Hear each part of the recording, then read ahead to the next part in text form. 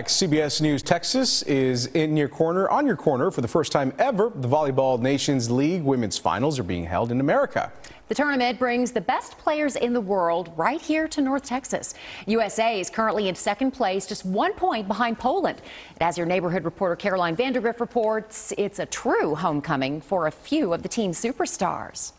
Week one was in Turkey. After playing matches around the world, Week two is in Brazil. Week three in Korea. Team USA is back on U.S. soil, preparing for the final rounds of the Volleyball Nations League tournament. We got a couple of days to rest and try to recover from the jet lag, and here we are. It's a rare opportunity for these women to play at the professional level in their home country. And I think for myself and for the other Texas girls, um, it's even more special that we get to host in our backyard. Gold medalist and UT grad Chiaka Ogbogu grew up in Coppell, and teammate Asjia O'Neal is from Southlake. Texas is a huge volleyball state, so I think this is a perfect place to have it. They're used to playing in front of sold out arenas internationally and hope fans here will pack UT Arlington's College Park Center. Having VNL here will hopefully open people's eyes and show them, okay, professional volleyball is extremely exciting and is something that we definitely want to see more of. And I really hope we can get to that level of all these other countries. Growing interest in the sport could inspire a new generation of players.